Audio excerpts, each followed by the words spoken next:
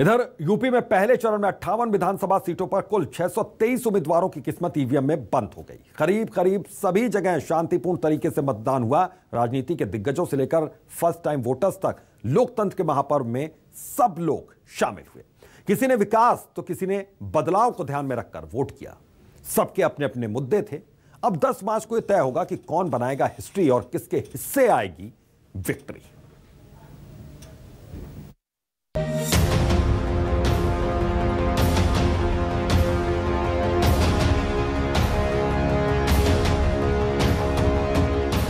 इसी जोश और जज्बे के साथ उत्तर प्रदेश के मतदाताओं ने अपने वोट की ताकत का इस्तेमाल किया। वैसे तो वोटिंग का वक्त सुबह सात बजे से था, लेकिन जोश ऐसा कि कई पोलिंग सेंटर्स पर वोटर्स उगते सूरज के साथ ही पहुँच गए, ताकि अपने पसंद का विधायक और सूबे में सरकार चुन सके। मैं एक तो चाहती हूँ कि मतलब जैसे हमारी रोड्स ठीक हो एक तो और जैसे जाम लगा रहता है, लोग मतलब काम के लिए लेट भी हो जाते हैं तो फिर वो थोड़ा अच्छा होना चाहिए उस उसमें, और मतलब जो गर्ल्स हैं उनको अच्छी प्रॉपर एजुकेशन मिले। महिलाओं की सुरक्षा सबसे पहले और बेटियों की सुरक्षा, क्योंकि जो बेटियाँ पहले कॉलेज जाती थी या कोचिंग जाती थी तो वो बेटियाँ सुरक्षित नहीं थी। अभी इस जो पाँच साल की जो सरकार है, उसमें सुरक्षा रही है महिलाओं की और बेटों की वही उसी मुद्दे पे हमने वोट दिया। विकास है और यहाँ पे गाँवों की हालत बहुत ज़्यादा खराब है हम गाँव से आते हैं। बहुत ज़्यादा मतलब गाँव की सड़कें कोई विकास नहीं है गाँव में। अब शहर को थोड़ी ना गाँव के लोग भी तो है वो भी तो मतदाता है। तो उन चीज़ों को भी लेके वोट करना। है। हाँ इसलिए। और मुद्दे क्या है? वही वही है सेफ्टी है प्रोग्रेस है और भ्रष्टाचार नहीं होना चाहिए। सी मुझे लगता है पार्टी भी इम्पोर्टेंट है क्योंकि उसी के थॉट प्रोसेस से विचारधारा से सब इन्फ्लुएंस होते हैं। एक कैंडिडेट के बेस पर हम पूरे प्रोसेस को क्वेश्चन मार्क नहीं कर सकते। तो party is very important UP में पहले चरण के अट्ठावन सीटों पर कुल 623 उम्मीदवारों की किस्मत का फैसला अब जनता कर चुकी है लेकिन सबसे ज़्यादा धड़कने बढ़ी हैं योगी के मंत्रियों की क्योंकि चुनौती है जीत को बरकरार रखने की। योगी की गन्ना मंत्री सुरेश राणा शामली की थाना भवन सीट पर वोट डालने पहुँचे तो संगीत सोम ने सरधना में अपना वोट डाला। योगी सरकार में ऊर्जा मंत्री श्रीकांत शर्मा ने मथुरा सदर सीट पर मतदान किया। मुद्दे सब समाधानित हैं और यहाँ विकास हुआ है, ज़बरदस्त विकास हुआ है।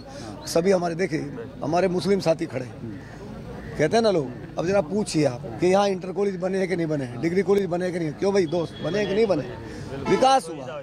और विकास के नाम पर हम सब लोग चल रहे हैं पूरा कस्बा एक है। पचास हज़ार प्लस सीटों से हज़ार वोटों से जिताने जा रहे हैं। हम जातीय समीकरण पर चुनाव नहीं लड़ते हैं। सबका साथ सबका विकास सबका विश्वास के साथ हम चुनाव लड़ते हैं। और भारतीय जनता पार्टी को छत्तीस बिरादरी का वोट मिलता है ना कि किसी एक बिरादरी का मिलता हो। Bharatiya Janata party law and order पर चुनाव लड़ रही है। लॉ एंड ऑर्डर हमने चुस्त दुरुस्त किया है। काम किया है बिजली सबको दी है सुरक्षा सबको दी है वैक्सीन सबको लगाई है राशन सबको मिल रहा है पक्की छत सबको दी है। और सबको आयुष्मान का कार्ड सबको बनवाया है। ये बेटी की सुरक्षा से लेकर और राष्ट्र की सुरक्षा तक, सीमाओं की सुरक्षा तक लगातार हम लोग काम कर रहे हैं। इनकी किस्मत भी अब ईवीएम में लॉक हो गई है। नोएडा से कांग्रेस उम्मीदवार पंखुड़ी पाठक चुनाव मैदान में थी, जिनका दावा है कि इस बार बदलाव होगा। देखिए, जितना मैं जनता के बीच रही हूँ, हर जगह मैंने एक ही बात सुनी कि इस बार हम भारतीय जनता पार्टी का अहंकार तोड़ना चाहते हैं, क्योंकि पाँच साल पहले एक भारत, एक बाहरी व्यक्ति को भारतीय जनता पार्टी यहाँ लाई, यहाँ विधायक बनाया और पाँच साल वो व्यक्ति इस क्षेत्र में दिखे नहीं। यहाँ के कभी जनता के सुख दुख में नहीं दिखे, लोगों के आंदोलन में नहीं दिखे, और हर किसी का कहना है कि इस बार हमें ऐसा विधायक चाहिए जो स्थानीय हो और हमारे बीच में रहे, और पूरे नोएडा में इस बार ज़बरदस्त बदलाव की लहर। तो अपनी तरफ़ से पूरी कोशिश की है और आप ईमानदारी से कोई आकलन करेगा तो नोएडा में किसी भी तरफ़ से एंटर करने पर वो दिखाई देगा कि नोएडा में पिछले पाँच साल में बहुत ही पॉजिटिव चेंज आया है, सकारात्मक बदलाव, परिवर्तन आया है। ये अपने आप दिखाई देता है। नेताओं को चुनाव लड़ना है और जीतना भी है, लेकिन इसमें अहम भूमिका निभा रहे हैं फ़र्स्ट टाइम वोटर्स जो कि पहली बार पोलिंग सेंटर पहुँचे। तो जोश देखने लायक था। युवा वोटर्स उत्साह से भरे हुए थे। और अपना नया विधायक चुनने के लिए मुद्दों को जहन में रखकर ही उन्होंने वोट किया। हम लोग का मेन पॉइंट है वोट करने का कि जो भी गवर्नमेंट आए हम लोग ऑब्वियसली वी वांट कि हम लोग का ग्रोथ हो और विकास हो स्टेट का। प्लस साथ में लड़कियों को सारे राइट्स मिले अगर लड़कों के साथ गलत हो रहा तो उनके भी राइट्स मिले। लॉ एंड ऑर्डर जो भी फॉलो हो रहे हैं वो अच्छी तरीके से फॉलो करे जाएँ। मेरा मुद्दा तो लिटरेसी को लेकर है। जैसे कि हमारा एजुकेशन सिस्टम लॉकडाउन हर बार लगा देते हैं और पढ़ाई में इतनी प्रॉब्लम होती है। ऑनलाइन क्लासेस के नाम पे बस कुछ नहीं करते। ऑनलाइन क्लासेस चल रही हैं चल रही हैं पर कुछ नहीं होता। टीचर भी ऐसा फोकस नहीं करते एक बार क्लास ले लेंगे और फिर कुछ नहीं होता। सर बस यही चाहते हैं कि समाज में जो भी हो आगे चीज़ बढ़े। सुबह वोटिंग शुरू हुई तो रफ्तार थोड़ी धीमी थी। दोपहर एक बजे तक सूबे की अट्ठावन सीटों पर पैंतीस दशमलव शून्य तीन फ़ीसदी ही वोट पड़े। हालाँकि जैसे जैसे दिन ढलने लगा, वोटिंग ने रफ्तार पकड़ी।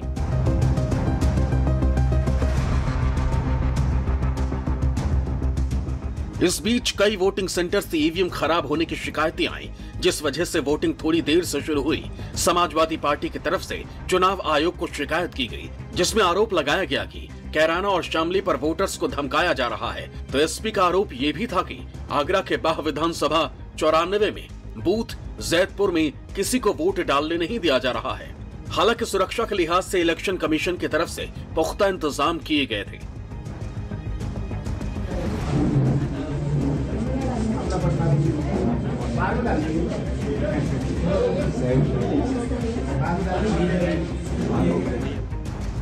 यह असली हिस्ट्री 10 मार्च की तारीख लिखेगी कि विक्ट्री किसकी होगी।